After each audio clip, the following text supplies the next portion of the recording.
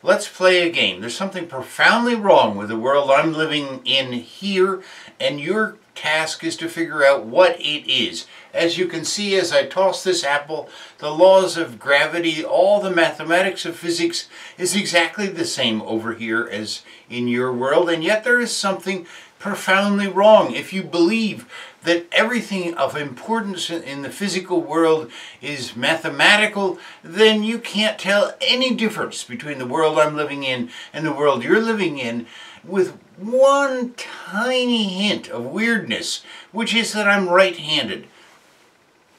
Now, if you listen to quantum mechanics experts, Feynman, or anyone else, they will tell you there is something so profoundly strange and weird about the quantum world that you cannot imagine it based on your experience in the classical world.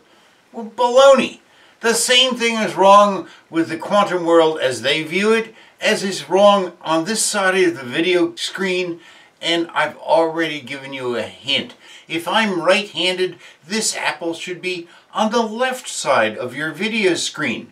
Let me give you another hint. Here is the name of this video.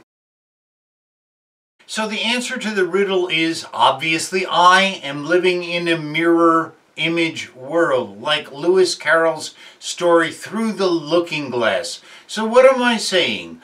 Obviously, the mathematics of quantum mechanics is absolutely accurate, but the picture that Feynman and other quantum experts have in their mind about what the quantum world looks like is the mirror image of reality.